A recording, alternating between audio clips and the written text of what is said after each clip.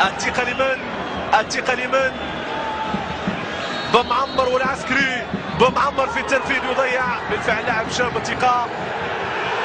والحكم يأمر بإعادة تنفيذ الضربة الترجيحية ولا نعم. الكرة تسدد. وهدف لفريق المغرب الفاسي. هدف لفريق المغرب.